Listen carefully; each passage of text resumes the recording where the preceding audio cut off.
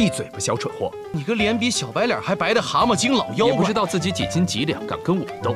出去啊！阿旭，你别拦着我！等等等等，走！算了算了，逞能的臭小子，你已是强弩之末，嘴贱的小白脸，你已是末日黄花。十招之内，我必能取你性命；十年之内，我必取你性命。你嘴头上的功夫可比手上厉害。哼，彼此彼此。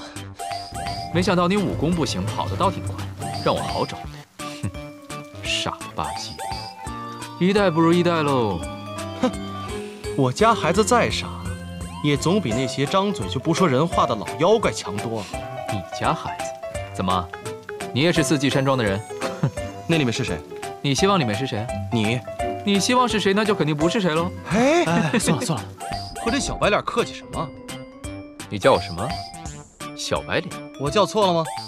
找面镜子照照你自己去。哼，想要真相，想要真相，你去找了吗？你知道上哪儿找吗？你找得到吗？你，你闭嘴吧，小蠢货！对了，那小子，你师傅是谁呀？刚用的什么武功？老子这武功叫下雨天打儿子，闲着也是闲着。找死！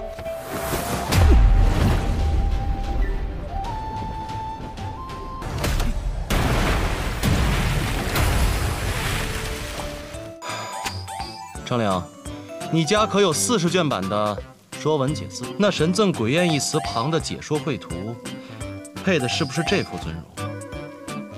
哎，小子，你家那《说文解字》里头“贻笑大方”这个词，画的就是这副尊容吧？哼！之前还听到谁在豪言壮语的要什么真相，被人耍得团团转，被卖了还帮着数钱呢，怎么有脸在这胡吹吹？啊！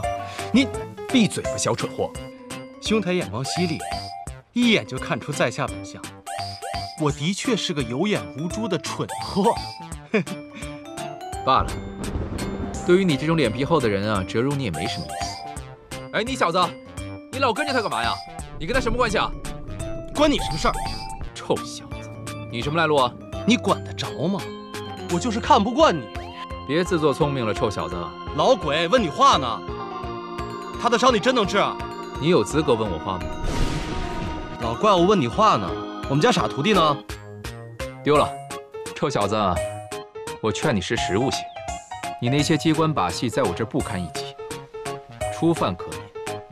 如若敢再犯，我让温客行掰断你的手指头。哎，为何是我？我外号温大善人，你不知？这等刑讯酷烈之事，我怎么下得去手啊？谁要请我吃饭？